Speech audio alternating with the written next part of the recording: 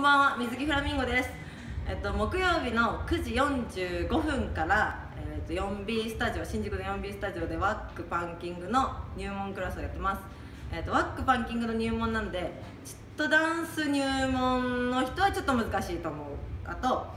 まあ、ワックやったことないはまだ大丈夫なんだけどワック知らないはちょっと結構きついと思います。なんでまあ一回なんだろうまあいっぱい YouTube とかあると思うんで私の動画とか見てもらったらどんな感じかとかは多分分かると思うんで。でえっとえっとそうですね。おばちゃんたちが多い。社会人のおじちゃんとかが多いですね。あとはねそうだな。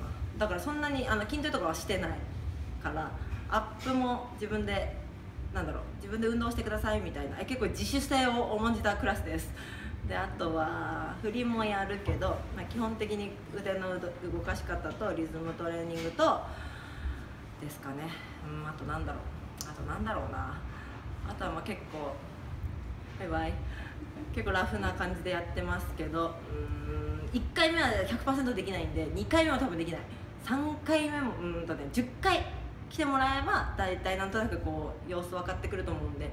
後ろの方でこそこそとかでも大丈夫なんでまあなんかとりあえず続けてみたらできます。って感じなんで。はい。